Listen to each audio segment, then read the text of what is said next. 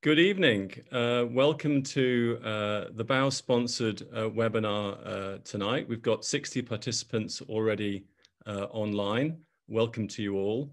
Uh, this, this talk is, this webinar is going to be on the advances in urethral stricture management and it's sponsored by uh, and Urotronic. you will have briefly seen the agenda and the, the faculty in the waiting room, but just to go through it this evening with you, I'll be uh, starting the discussions off with some optimizing approaches to endoscopic management of urethral strictures. Uh, I will then pass over to uh, Dr. Sean Elliott, Professor and Vice Chair of Urology at the University of Minnesota. He'll be talking about mechanical and medical therapies that can perhaps uh, improve outcomes with urethral strictures. And he will then uh, pass on to Dr. Karl Coutinho, who is uh, a reconstructive urology, urologist currently practicing in uh, New York City, and remarkably, the only reconstructive urologist in a practice of over 170 urologists, so he must be a busy man. And Karl's going to talk about the Optilume drug-coated balloon in more detail. If you want to uh, ask questions, there is the Q&A uh, available at the bottom of your screen and we'll be collating the questions, uh, which will be used as a, uh, a, forum for discussion at the end of the session. Please don't use the chat, uh, just concentrate on the Q&A. There will also be three polling questions, which are uh, through the, the talk, where you have the opportunity to answer a multiple choice question to get an instant uh, view of the audience uh, feelings about certain aspects. Uh, so if we then just quickly remind ourselves of who we are, I'm Professor Nick Watkin. I'm Professor of Urology at St George's Hospital, London. I specialize in genitourethral surgery and, and have been involved in clinical trials uh, of urethral stricture management in particular. Uh, Professor Sean Elliott, Professor and Vice Chair of Urology at University of Minnesota. He also is a, a, a recognized expert on urethral stricture disease and has been the uh, the secretary and treasurer of the Society of GU Reconstructive Surgeons in America. And uh, he's also been principal investigator of the uh, trials of Optilume. And Karl Coutinho, as I mentioned, is, is a reconstructive urologist uh, who trained in Mount Sinai and uh, hospitals in Chicago and Cleveland, who also is the only reconstructive urologist in his practice. So uh, in terms of conflicts or interests, I don't have any. Uh, Sean mentions that he's been the PI of the three Optilume trials, Robust 1, 2, and 3, and also a consultant for Boston Scientific. And Karl has been an investigator in the Robust 3 trial. So let's begin with some optimization strategies for the management of, of urethral strictures. And really we're talking about penile bulbar strictures throughout this uh, webinar. So let's begin with a recent case which just happened pre-COVID. Uh, this was a 50-year-old man uh, who'd had uh, one endoscopic urethrotomy, a DVIU, uh, about 10 years ago. Uh, and he'd had a cardiac stent placed uh, the year before and was on clopidogrel. He had a urethrogram, which you can see on the right of the picture. The upper slide showing an ascending study, the lower slide, the descending study. And clearly you've got a tight mid-bulbar stricture. Uh, the specialist he saw uh, suggested a buccal graft urethroplasty. And the patient wasn't sure what to do, so he requested a second opinion and uh, came to see me in my clinic. So what are his options? Well, obviously he could have a urethroplasty uh, and one could debate whether it was an anastomotic urethroplasty or a graft type urethroplasty. He could have a second DVIU, um, which had lasted about 10 years from his perspective. He could have a urethral dilatation, and we'll, we'll talk a little bit more about that later. He wanted to know what outcome he could expect from the different types of procedures. He also raised the issue of self-dilatation and whether that would be helpful. He wanted to know if he was going to have a urethral catheter, and if so, for how long. He hadn't really enjoyed the experience from his recollection. And he talked to me about whether things could be done under local or needed some kind of uh, deeper general anesthetic because he'd had his stent and was slightly nervous about, uh, about that aspect. So I'm going to just highlight some of the guidelines that might help formulate your opinion and ones that I, I personally was involved with are the British Association guidelines, which were published uh, last year. And you'll see a number of statements that we um, made. Uh, the first, uh, that basically a DVIU or a dilatation could be curative if this was a first procedure for short bulbar strictures, and that there was no evidence in the literature that one was better than the other. Uh, for obvious reasons, we recommend that you should use a, some form of guidance, either a guide wire or a ureteric catheter to define the lumen to minimize your complications. And that's particularly relevant for DVIU. And that you should be careful to use, uh, make sure the urine is sterile and provide appropriate antibiotics. And we said that a catheter should be left in for three days, uh, full stop. So the, the next statements are slightly more contentious. Uh, the group said that uh, dilatation or DVIU could be used for recurrent strictures, but was essentially palliative, not curative. We then said that clean self-dilatation may have a role again in palliative management of, of men with strictures, but was not curative. We made the statement that there was no role for stents in the curing or palliation of men with strictures. And finally, we said that uh, any new device that became available must be tested under NHS uh, clinical governance arrangements. We then concluded by saying that urethroplasty was the only curative option for men with recurrent bulbar strictures. So whether you agree with those statements or not, uh, you could choose uh, the, a number of other guidelines which have been published. Obviously, the AUA's guidance from 2016, uh, which recommended against repeat DVIU. Uh, the SIU produced a consensus statement in 2010, which suggests that maybe you could consider a repeat DVIU if it was a favorable stricture. In other words, one that perhaps was short uh, and that recurrence had not occurred early, and in this case, we define the early as three months. I'd commend you to read the EAU guidelines from 2021, uh, which is their first attempt at stricture guidelines, and it, it was a particularly well-researched and well-written document. And they concentrated additionally on the importance of symptom scores and the use of validated questionnaires to guide uh, the patient's choice. But all of the guidance, if you put them together, would say the following it would say that DVIU and dilation had equivalent outcomes, that DVIU should be offered for untreated short bulbar strictures, but to not perform repetitive DVIU or dilatation if urethroplasty is an option. So what do we advise this patient? Well, he's bothered by his symptoms. That's, that was confirmed to me. He was nervous about COVID and anesthetics in general, and he wanted to know more about the evidence for repeat endoscopic treatment. Well, uh, I obviously told him about DVIU, which he knew about, and this has been popular for 50 years. Uh, nothing, nothing new from the, for the audience, I don't think. And the evidence was was really driven by the paper from uh, John Blandy in, in 1983, and some of the great and the good of British urology were co-authors of this paper. And they basically said that after five years, 50% of patients who had a, a DVIU didn't need further treatment. And remarkably, at that time, 80% of patients, or more than 80%, actually relapsed with urethroplasty. So if you were faced with the evidence 40 years ago, you would clearly be choosing DVIU.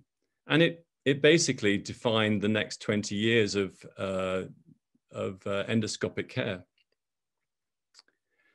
Um, a few years later, Chris Heyns uh, in, uh, in South Africa did the only randomized trial to date comparing endoscopic treatments, uh, and that was DVIU versus dilation. Uh, and basically, there was no difference in outcome between the two. And that's driven, again, the evidence that, uh, the guidelines uh, are stating. He, he showed that after one procedure, you'd get a 50% to 60% stricture-free rate at four years. After one recurrence, it was 20%. But after a second recurrence, it fell to 0%.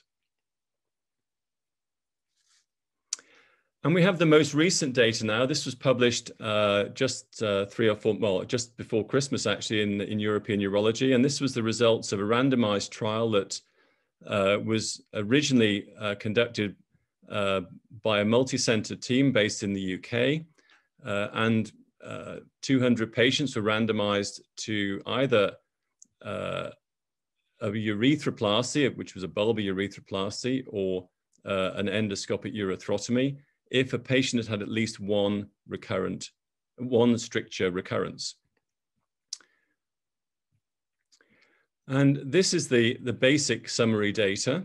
Uh, what we found at two years uh, was that 38% of patients randomized to urethrotomy had recurred, and recurrence was really defined by uh, return to baseline of symptoms, flow rate, and so forth.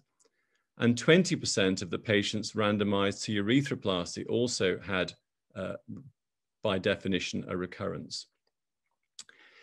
Uh, in terms of re-intervention, uh, the numbers were slightly less because people had perhaps delayed their uh, choice to, to be uh, uh, reoperated on.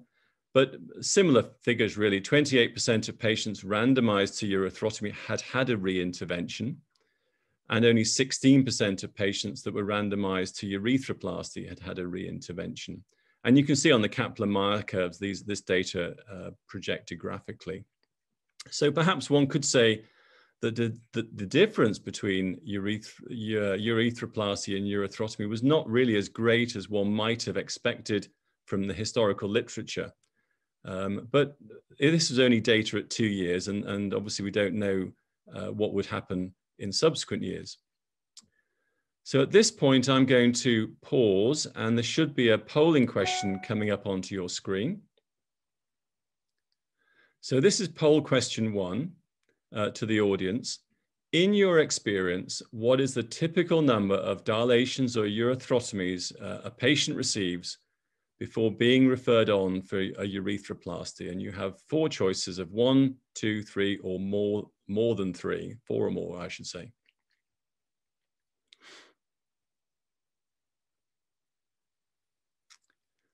Okay, and here we have the results. So the, the mean number looks like it's, or the median is 40% uh, would have two urethrotomies and 29% uh, at three and 17% would have four or more urethrotomies.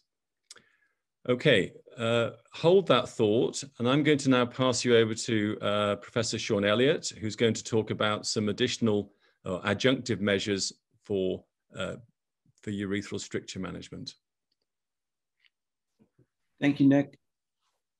Uh, so I'm going to focus on talking about uh, advances in endoscopic technology, I should say, for the man management of urethral strictures. You know, the most basic one would be uh, in, in, terms of the technology we have and, and the data that's out there would be self-dilation. Uh, self-dilation does seem to improve the success rates over just standard uh, internal urethrotomy or uh, surgical dilation by the urologist. As long as the patient keeps doing the self-dilation, the stricture stays open at a higher rate than people that don't do self-dilation. But once they stop doing self-dilation, the recurrence rate is just as high as people who never did self-dilation. And this is demonstrated in these two uh, randomized trials uh, uh by Kjaergaard and uh, Boedker listed here, where in, in one of these trials, uh, people did self-dilation for a year and had an 80% success rate after DVIU plus dilation versus 25% if they only did the DVIU, showing that persistent dilation has a better success rate, self dilation. And then in the other trial, they only did the self dilation for three months and then assessed the outcomes at one year, and that showed no benefit. So it does seem to show that stopping the dilation makes the stricture eventually come back. So I would do away with this notion that you hear some people say, where self dilation kind of stabilizes the stricture and uh, that you can do it for a little while and then just stop. Um, if you think the data there in those two randomized trials is a little bit old to believe, um, there's also this more recent case control study uh, in the Scandinavian Journal of Nephrology uh, demonstrating higher success rates with self-dilation than with DVIU alone. You know, there have been changes in the dilators that have been used over the years. No one's really studied whether one type of dilator is better than another. Um, I, have even known some doctors to prescribe a balloon that the patient can use to inflate themselves every other day to keep the stricture open. So uh, people really are uh, trying many different therapies, but we don't know if one works any better than the other. And um, uh, if you go to the next slide, I believe it might talk a little bit about one of these. Um, uh, it, will be a future slide. I'll talk about uh, dilators that are coated with steroids. But before I get to that, let me just finish up on this self-dilation uh, and why it's not a fantastic long-term option is that it's associated with a poor quality of life, especially in young men or people with proximal strictures. So this data is from Allen Morey in Texas. Um, there's a little bit of a selection bias because he only surveyed men who were referred to him for urethroplasty.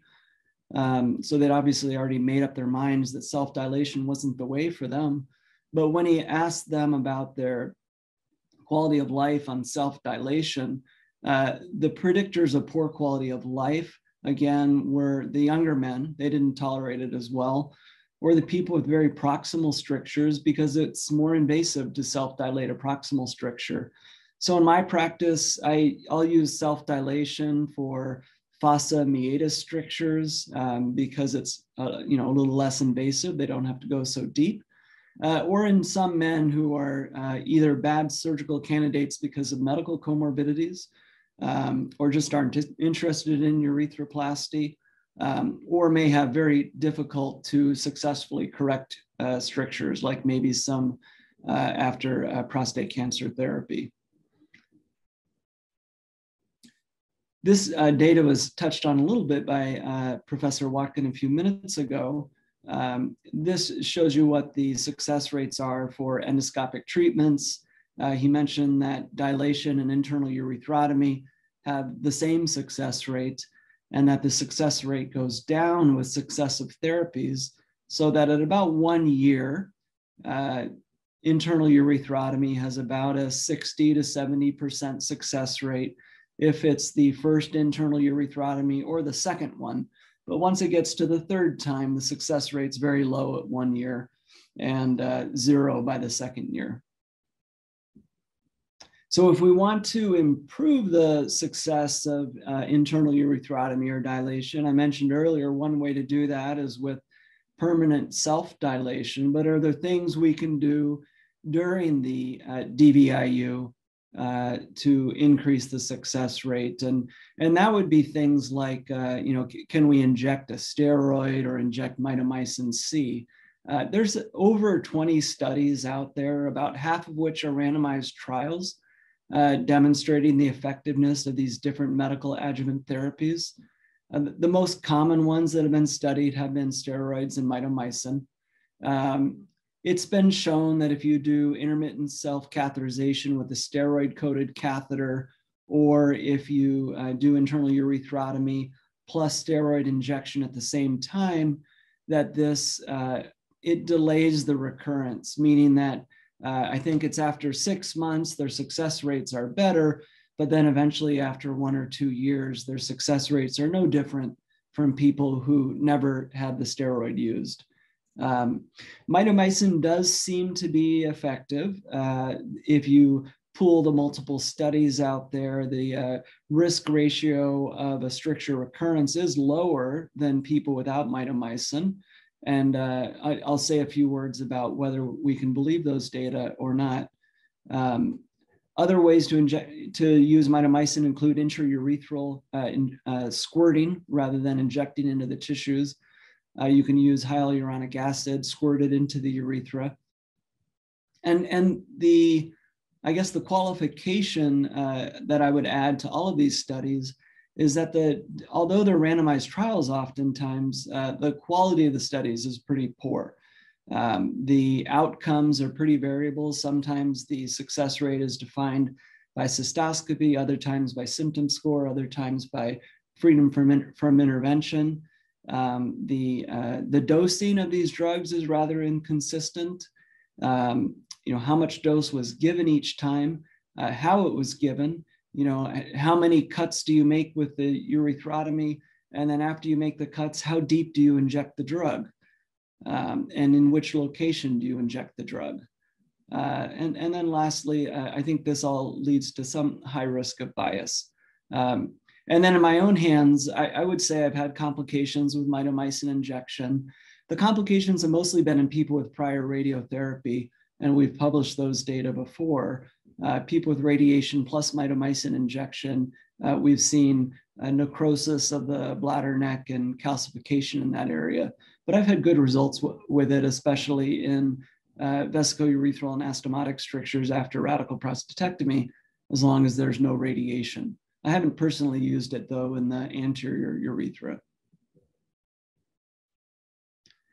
So the Optilume here, which is a mechanical and medical therapy all rolled into one device, um, provides the, uh, you know, your typical balloon dilation which uh, stretches open the uh, urethral stricture and then also creates micro fissures for the drug uptake. The, the, the drug is coated on the outside of the balloon.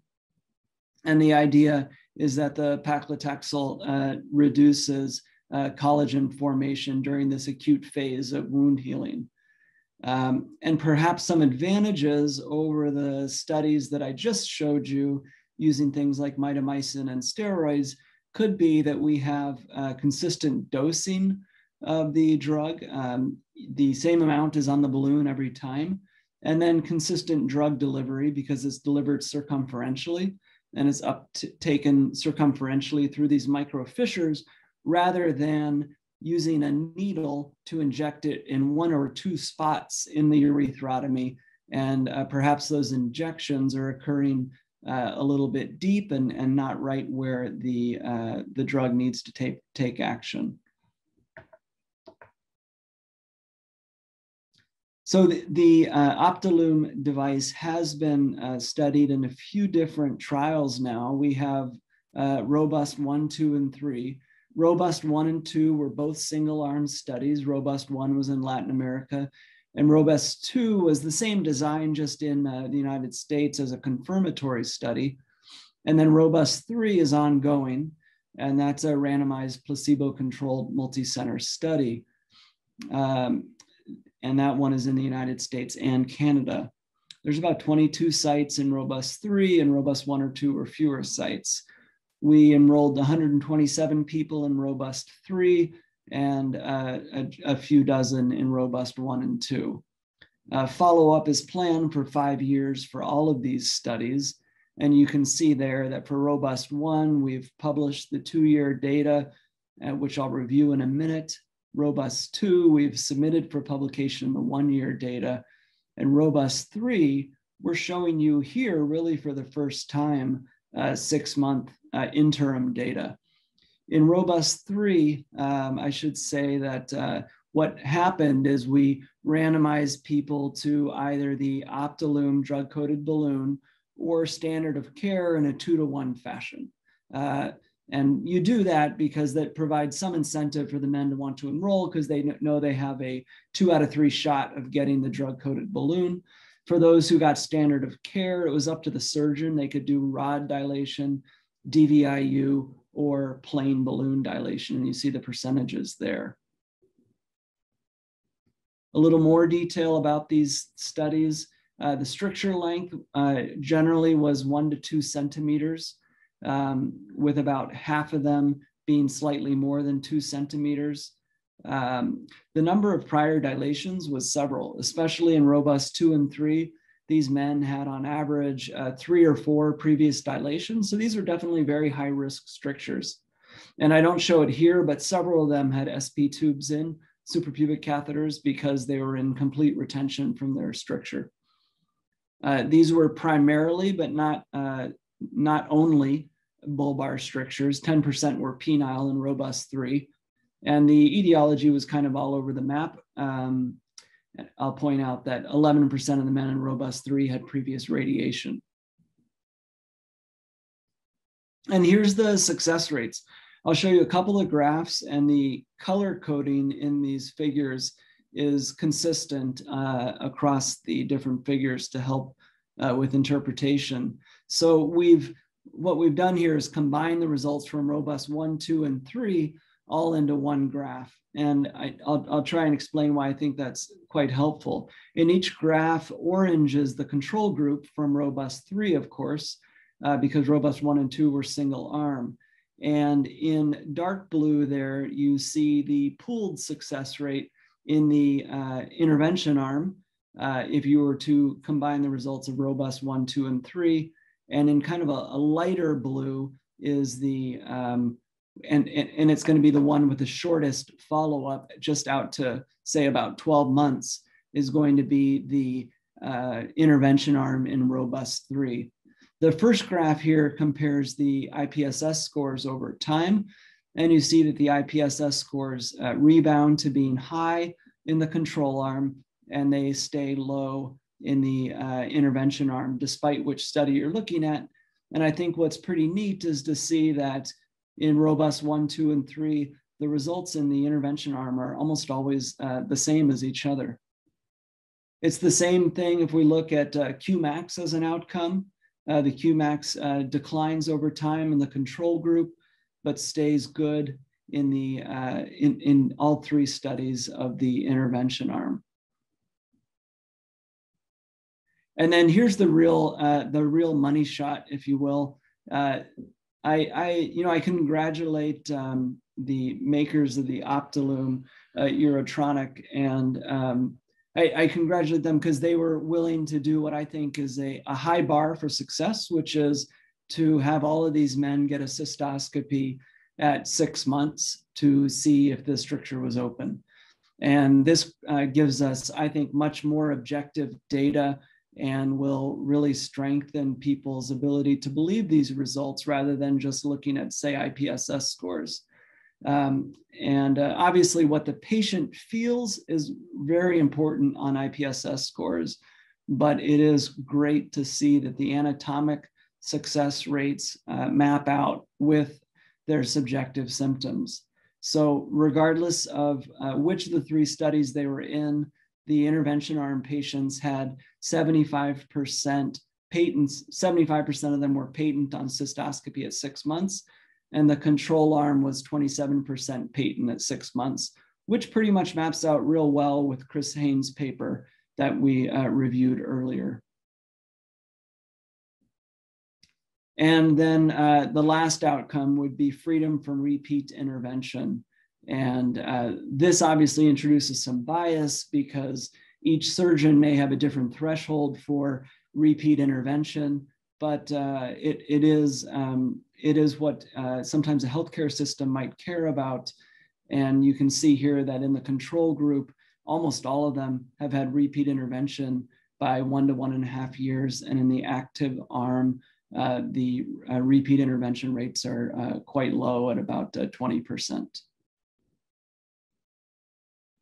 So we have a uh, little poll here um, reflecting back to the data we showed you uh, from the Heyns paper, and I don't know if you could bring the slide back to that, uh, that graph uh, for the audience, but compared to the data from the Chris Heyns paper, um, in your experience, uh, would you typically find that dilation or endoscopic therapy is actually more successful than seen in the Heyns paper just as successful as in the Heyns paper or less successful than is in the Heyns paper. So it looks like people pretty much agree with the results from the from the paper. A few people have had better success. And I and um, certainly different people have different success depending on their their techniques for endoscopic management. Um, so I believe that concludes um, my portion of the talk, and I'm going to turn it over to Dr. Karl Coutinho. Thank you very much, Dr. Elliott. Uh, appreciate the uh, introduction as well. Um, my name is Karl Coutinho. I'm a reconstructive urologist uh, working in the actually the New York City area, just across the border in New Jersey. I'm fortunate enough to be part of a large group of uh, about 170 urologists uh, and the only reconstructive surgeon there.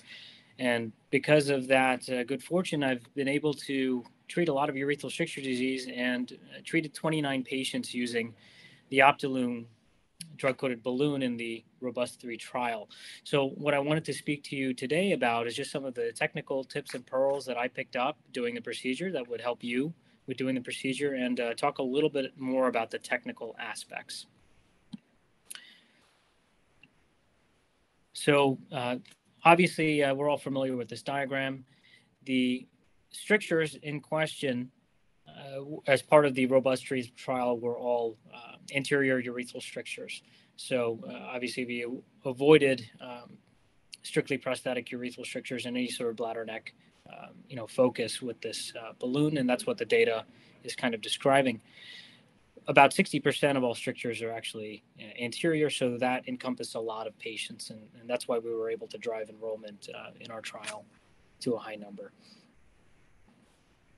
So this is just kind of a picture of what the balloon looks like. Now the balloon itself is a uh, pretty standard dilation balloon if you've ever used one before for urethral strictures.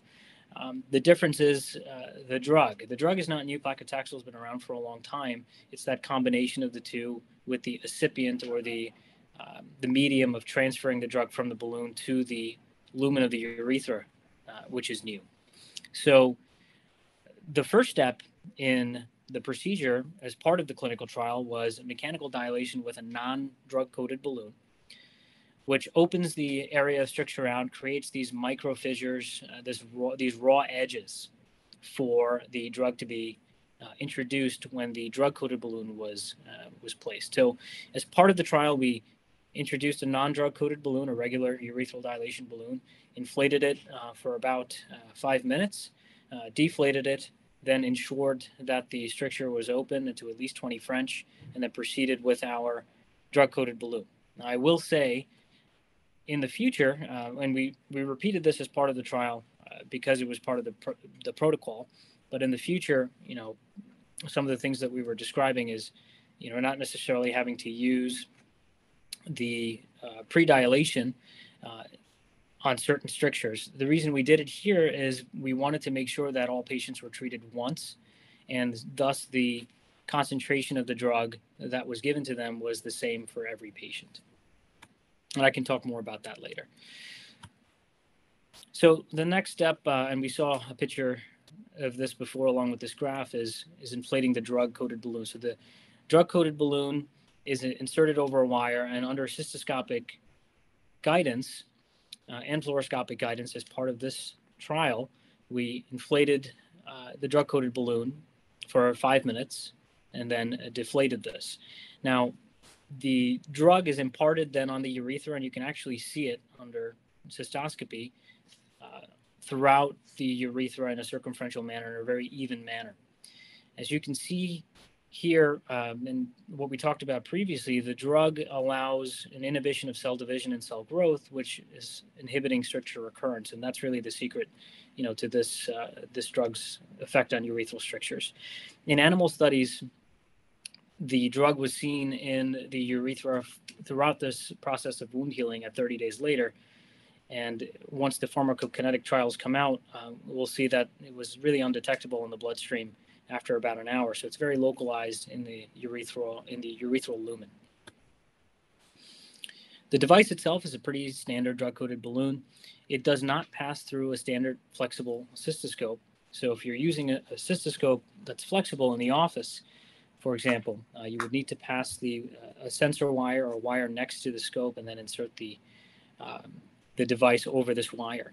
Uh, for this reason, after a couple of these, after our first couple of these patients, we started using a rigid cystoscope, uh, a standard 21 French rigid cystoscope. We were able to pass the guide wire, uh, 0.083, I'm sorry, 0.038 uh, inch sensor wire through the scope, and then we were able to pass the balloon through that. We I inspected the uh, the nipples very carefully to make sure that you know there wasn't anything that was kind of rubbing off uh, in terms of the drug on these nipples or in the scope, and I didn't really see any. But that brings us to kind of our next. Uh, oh, and one thing to mention: the lengths of these balloons vary. So there's a uh, a 30 millimeter length uh, for shorter strictures and a 50 millimeter length or five centimeter balloon for the longer strictures. And we'll talk about how to choose the length in a little bit. Um, 30 French is the, the most commonly used diameter during the trial. So again, the secret really is the coating, uh, the excipient, which is the medium that allows the drug to be transferred from the balloon itself onto the lumen. It requires the balloon to uh, be introduced into the urethra and then sit there uh, coated in uh, saline until uh, for about a minute. So this kind of hydrates the tissue and then allows and facilitates the transfer of the drug from the balloon itself onto the urethra, onto the lumen of the urethra. Uh, and I think it's that process of keeping it there and allowing the uh, the drug to hydrate, the balloon to hydrate, which prevents it from really touching anything else as it's being introduced into the scope. Paclitaxel, as we talked about before, is an anti-proliferative uh, medication. Uh, the whole idea is that it's been shown to limit fibroblast uh, migration via its effect on microtubules uh, thus limiting fibrosis and inflammation and, and, preventing these strictures from coming back. There's also some research showing its effect on sig- signaling pathways, including uh, transforming growth factors, uh, which are influential in um, this whole formation of an extracellular matrix, uh, which facilitates the stricture formation in the future the whole idea of uh, durability, uh, you know, in animal models, like I said, it's been shown uh, uh to last for up to 30 days in the urethra, and in um, the half-life in the urothelium is thought to be about three to seven days. It is rapidly um, absorbed into the tissue, and it is res- uh, resistant to washout because of its lipophilic nature. And you can see that when you're actually doing the procedure if you have a camera, and at the same time, the crystals kind of stick to the lumen of the urethra and they don't wash out so easily. So the advantage of the Optilume balloon is, uh, in, in my opinion, the best advantage is really it's circumferential and very even distribution of the drug. So that I think is the main, uh, you know, and that's the reason I'm a main proponent of this device, as opposed to injection therapy, which I've used for, uh, for example, bladder neck contractures with mitomycin, where there's uh, you know some variability in which tissue is getting the medication and which tissue is not based on uh, the surgeon themselves and also the patient's anatomy. Um, the hydrophobic uh, drug is absorbed rapidly, as I said, and resists, um, you know, urine washout immediately after and remen- remains in the system, uh, as I said, in animal models uh, throughout the wound healing process, uh, thus preventing scar tissue formation again.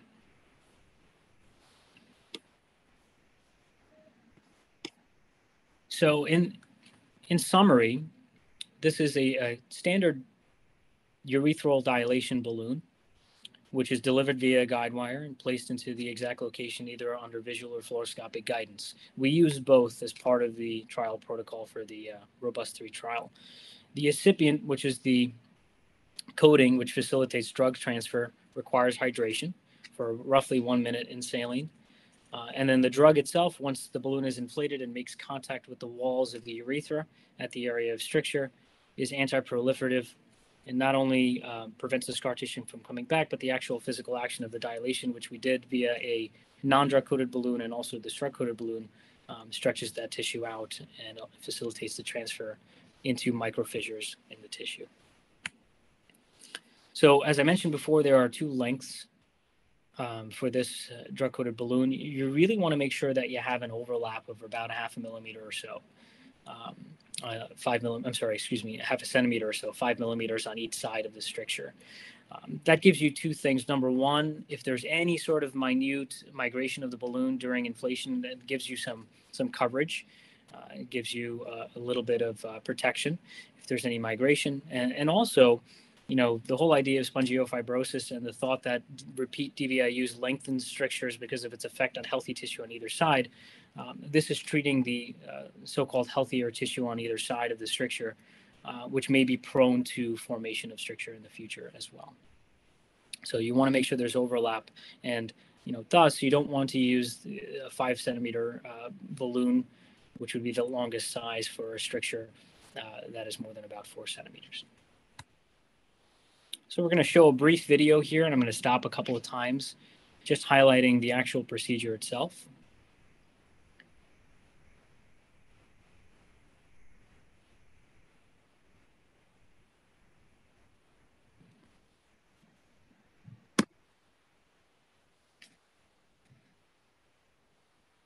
All right. So important things to, to understand is once the the packaging is removed from the outer box, there's also an inner packaging as well, and that's to protect uh, from light exposure, protect the uh, the device itself from light exposure, and to keep everything sterile.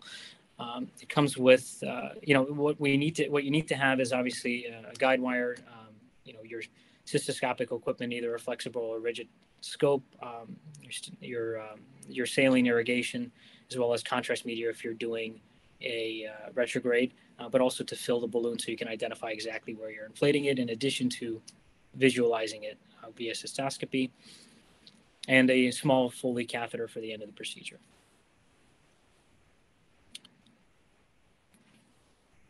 You can see here the device kind of been prepared. Here's the wire coming out. And the key here, um, I'll pause right here if you would. Uh, the key here, this is the drug coated balloon uh, at the end here, which is white, and it's protected by this uh, plastic uh, uh, coating, the shield that's on top of it. So one of the keys is making sure, especially if your hands are wet, that when you remove this protective plastic coating, that you don't touch uh, the drug-coated balloon portion with this this white matrix, which is really uh, the drug and the excipient. Um, to anything that's wet or really onto anything other than putting it onto the wire and sliding it through the scope.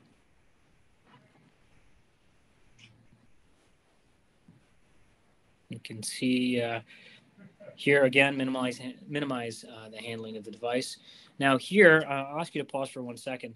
Uh, the surgeon is using a, um, a, rigid scope. And then on this next uh, portion here, the surgeon is using a flexible scope. So my recommendation, having started by using flexible scopes in a surgical center environment, uh, where I had rotating staff that may have not been familiar with, you know, uh, the device itself. Um, I was struggling trying to have two hands on the scope itself to keep it in the correct position and, and trying to talk uh, my assistant through sliding a wire next to the scope and then sliding the balloon over that and then inflating the balloon in a proper fashion. Uh, it became to be a lot. And so we switched after our first couple of patients to a rigid scope, as you saw in the first, uh, the first section uh, right before this part.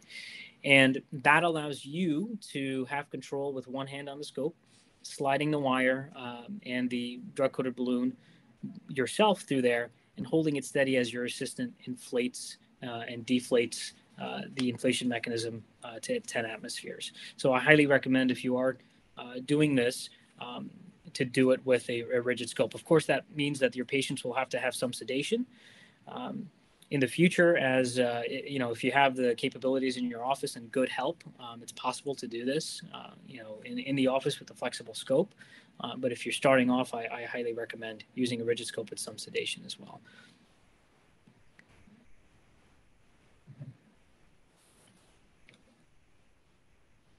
So the balloon is inflated uh, in a standard fashion uh, using a uh, pressure inflation device to 10 atmospheres and so as we inflate the balloon in the stricture, you'll see that the the atmospheric pressure uh, in the balloon will drop off a little bit as the, the stricture gets uh, stretched. So we're constantly, you know, increasing that to 10 atmospheres to keep it at that level for about five minutes.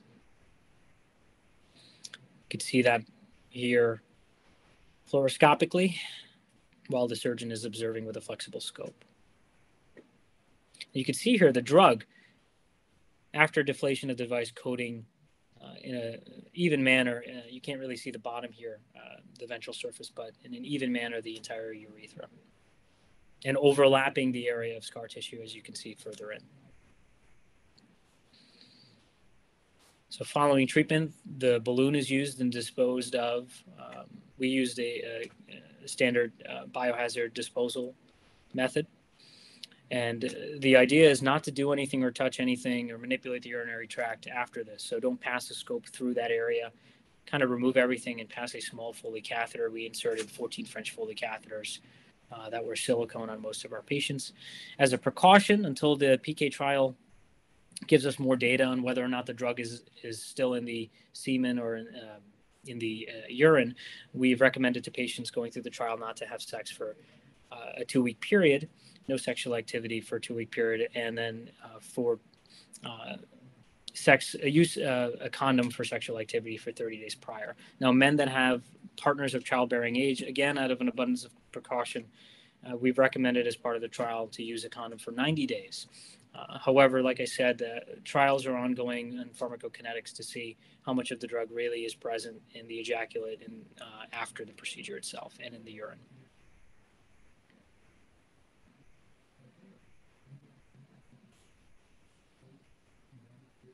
All right, perfect. So as you can see, uh, very, very quickly, almost instantaneously, there's a uh, improvement in urine flow as the catheter is taken out. Uh, and that's not new, right? You know, balloon dilation, DVIU, these all uh, have a improvement in, in flow immediately. What What is remarkable about this is the durability of this. So you can see this graph going out for two years uh, with a consistent improvement in that flow as opposed to um, standard endoscopic treatment or placebo.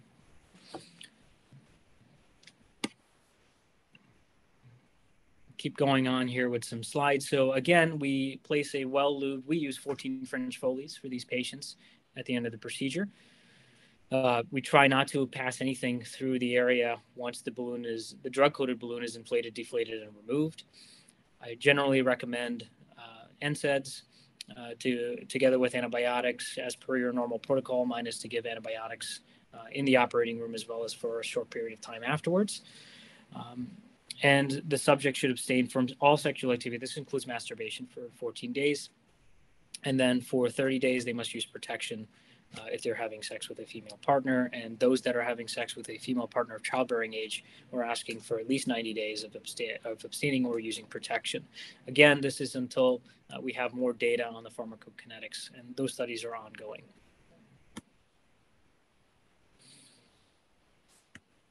So you can see here, uh, this is just a, a, case study as well as 24 month follow up with a retrograde urethrogram. Um, the durability of the response of a particularly tight um, and uh, very proximal bulbar stricture uh, with an improvement, uh, very good improvement in the in the flow. These patients are very very happy afterwards. So, in summary, you know, urethral stricture disease, we all know, uh, although there are guidelines for many different sources, many different countries, many different urologic bodies, we don't always see as reconstructive urologists these patients in our office when they're supposed to. And that could be because of lack of um, availability of reconstructive urologists. That could be for other reasons as well. Um, some patients just have multiple dilations. Some doctors are just comfortable doing that. Um, this is a better way uh, of treating some patients, uh, and this may prevent some of them from progressing uh, to uh, more invasive procedures. So uh, I, am very excited about this. Uh, like I said, I've had one patient in that 29 that we treated recur. I did his urethroplasty yesterday. Uh, and, uh, you know, I think uh, this represents just a change in the paradigm and, and something that we can offer our patients uh, that will help them. Uh, the durability of response also is, is something that I'm very excited about, and I look forward to the five year data. So we have a little poll question here. Just after hearing all this evidence um, from Dr. Elliott, um, Dr. Watkin and uh, I, are you interested in uh, adopting this or learning more about it for the treatment of urethral stricture disease? You could just answer yes or no, or just for select patients.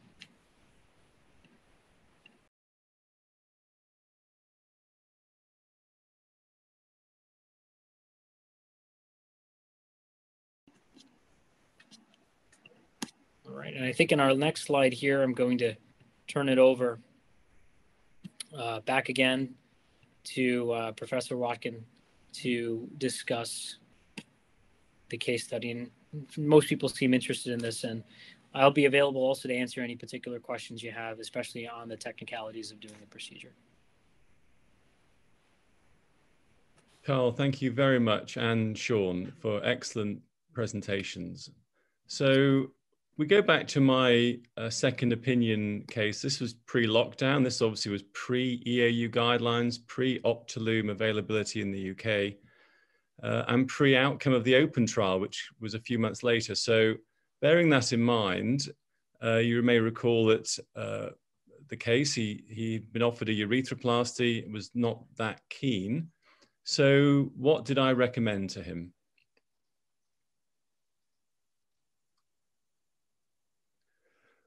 Um, well, he lived 200 miles away, uh, and actually was a telephone consult, uh, and I'd had the urethrogram sent over to me.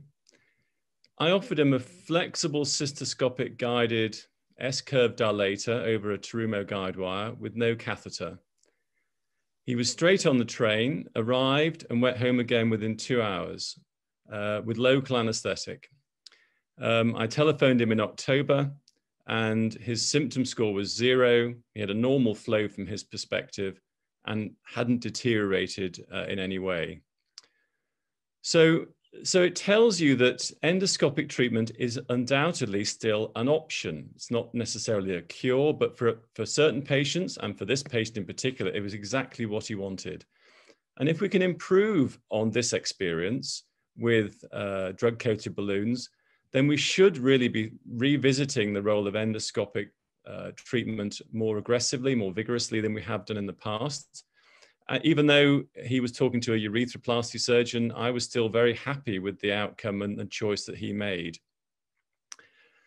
So if we go on now to Q&A, um, and just some take-home messages uh, whilst some questions are coming through.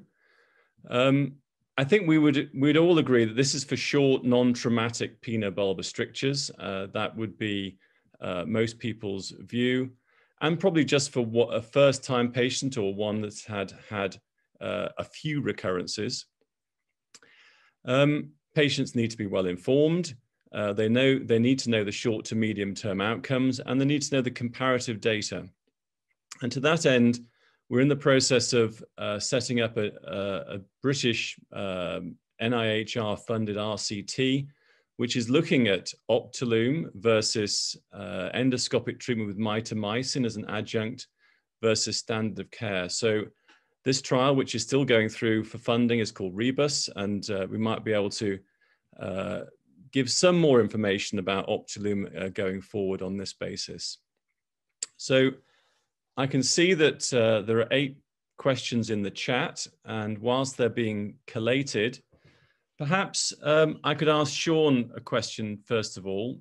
Sean, how do you know where the proximal end of the stricture is in the balloon? Do you use on-table urethrography with every patient, or are you using a historical urethrogram to guide you? What, what's your practice? Uh, the way I've done it is to use on-table urethrography on every patient.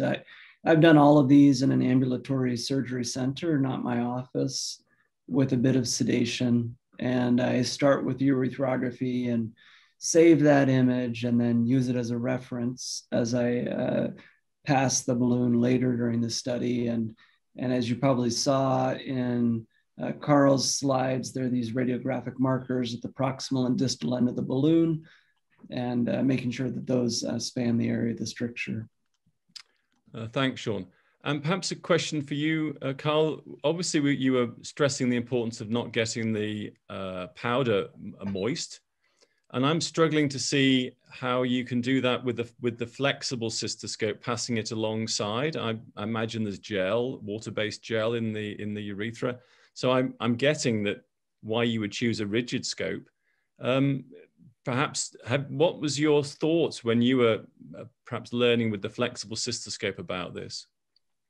Uh, so my my thought is, um, you know, in terms of not getting it moist, it really was uh, when you are preparing the device, when you're touching with your, you know, not to touch it with your hands, especially.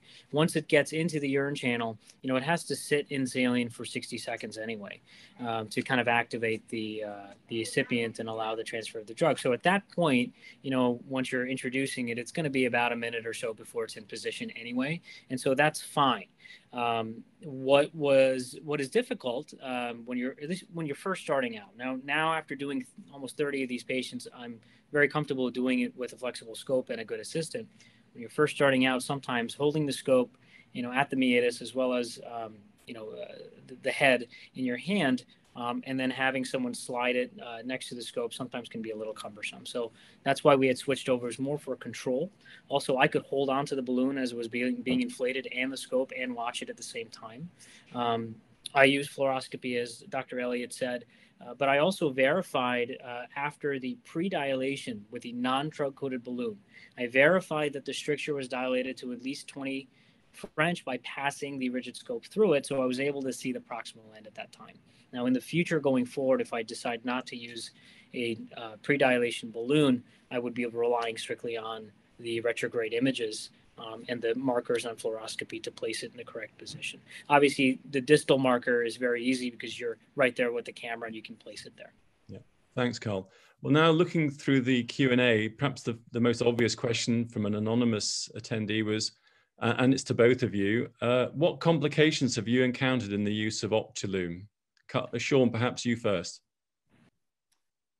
I haven't noticed complications that are any different from patients with standard balloon dilation, you know, a little bit of uh, bleeding perhaps for a, a, day or two around the catheter, no excess amounts of uh, pain, uh, no excess in infection, and, and that would match with the, the data we see from uh, robust one and two in terms of uh, complications. They're, they're, they're quite rare and quite minor. Karl? Yes, I, uh, I agree. You know, it's pretty much the same complications or, or symptoms that you would see after uh, di- any dilation. You know, some urgency and frequency symptoms. Sometimes some blood around the catheter dissipated very quickly. Um, we, we didn't have any, you know, uh, serious side effects. We had a couple of patients have reoperations, but they had kidney stones. Um, so, you know, uh, unrelated obviously to this. Um, no issues with erectile dysfunction, no issues with uh, urinary incontinence, even on those very proximal strictures where the balloon may have been traversing close to the sphincter. So, you know, that was also something that I was very conscious of um, in terms of placement, but we never had any issues with, uh, with incontinence symptoms afterwards that were new. And I should say, you know, we scoped all these patients at six months, and in no patient was there some kind of a necrotic, non-healing fissure in the urethra as you as you might be worried about by by delivering a chemotherapy drug to a, a wound you just created. I had that same experience. There was nothing that was unusual. Um, there are a couple of questions to do with catheters, and I suppose I could perhaps summarize the, the questions into one. Any any different practice with your urethral catheterization? Are you leaving them longer? Uh, are they getting more catheter irritation? Do you do you have to worry about the lubricant that you put on the catheter to place it? Is there anything specific you think that might be different for, for catheter care post-operatively? Sean, you first.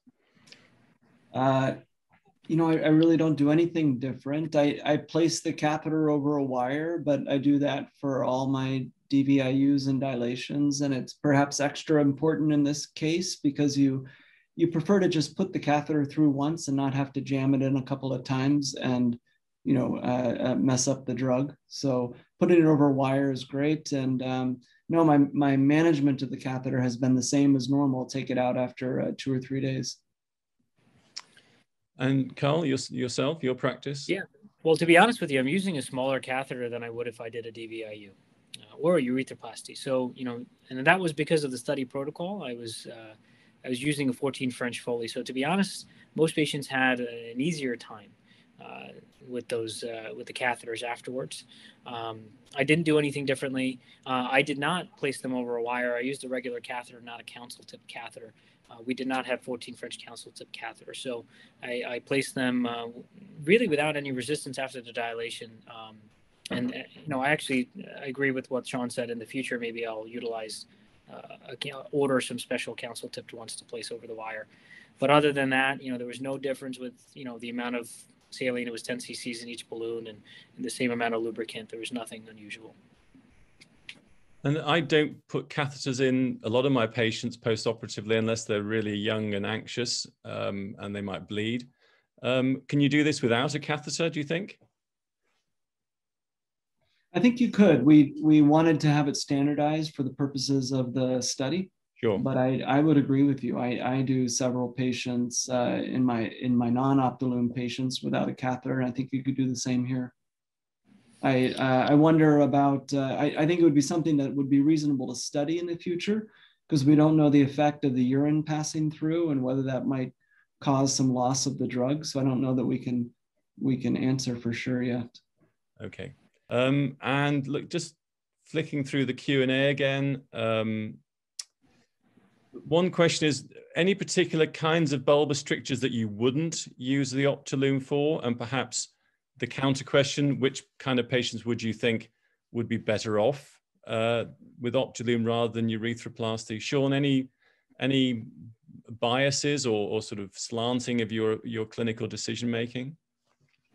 I think I would continue to reserve Optilume for uh, strictures that are uh, second or third time around uh, treatments. I, I, wouldn't use it as a first line yet, uh, mostly because of cost. Um, I would probably not use it in extremely short strictures that have better, uh, pretty good success rate with standard DVIU, uh, as you saw in your in your case you presented. Uh, but if I've got a very short stricture and it's his third or fourth time being treated, then of course I would use the Optilume. Okay, um, I've got one more question. Oh no, some more. coming. The one, the next one I was going to ask you is: any concerns about patients on anticoagulants? I didn't particularly have any any issues with that. The patients that I had were able to stop the anticoagulation. Um, in my experience, you know, with a, with a DVIU, um, sometimes I ran into a little, a little bit more bleeding in those procedures rather rather than the gradual stretching using a um, a dilation balloon. So, uh, to be honest with you, I think just that five minutes of pressure uh, will do numbers uh, for uh, you know helping with bleeding. I would be more likely to use this in a patient that was forced to have anticoagulation uh, than another method. And another one just come through. Um, would you use the Optilume for recurrent strictures after bulbar urethroplasty and and or penile urethroplasty? Yeah, I think that the Optilume has proved itself to be particularly useful in the difficult to treat strictures, those have, that have failed uh, two or three other treatments. So uh, as an extension of that, I would guess that it would have a, a good role in the management of the difficult recurrences after urethroplasty. I also think it'll prove to have a role in the uh, vesicourethral anastomotic strictures after radical prostatectomy, perhaps in bladder neck contractures after transurethral resection. Yeah, I also agree. I think that uh, you know my my uh, general algorithm is uh, treating uh, failing uh, endoscopic management, proceeding to urethroplasty, and failing that, doing another endoscopic management before doing a repeat urethroplasty. So I would definitely consider using uh, the Optilume balloon um, for those patients uh, to try and prevent that second urethroplasty, which would be, you know, a lot more difficult. I, I think I'd agree with that strategy. I think your patients were probably saying the same thing, mm. actually. Okay, I think that's drawn an end to the Q&A. I'm just looking through the live chat, which is, um, I think we've covered everything. Um, yeah. Um, James, anything coming through from from uh, the background that we you'd like us to cover before we we close the uh, close the session? No, I think you've covered everything um, fantastically. So, um, first of all, I'd like to say thank you to Professor Watkin and uh, Professor Elliott and Dr. Coutinho for uh, taking the time and also for the for the audience and everyone in the audience for taking the time to join us this evening. Um, we're really grateful um, that we got to share uh, this educational opportunity with you guys. And I hope that you uh, can form a, a, very concise clinical opinion. Um, and I look forward to, um, to meeting everybody uh, in the future when it comes to um, the urethral stricture practice and introducing Optilume as part of that as well. Um, and engaging in further conversation. You know, if anyone has any questions, they can come through to myself or they can go through the via the Laborie website or the Urotronic website. Um, and we are open to, to conversation at any time. So thank you very much, panel. I really appreciate your time and your efforts. And thank you very much to the audience um, and to everyone in the background who made, who's made this possible as well. Um, and we look forward to working with you all in the very, near future. Uh, thank you, James. And I would just like to thank my colleagues, uh, Professor Sean Elliott and Dr. Karl Coutinho, uh, for presenting excellent uh, talks. And also to BAUS, who've been who've set up the the, the, the educational series over the, over this year, and I think they've become really popular. And we've still got 82 people on the line, which is which is excellent. So thank you very much, everybody, and good night.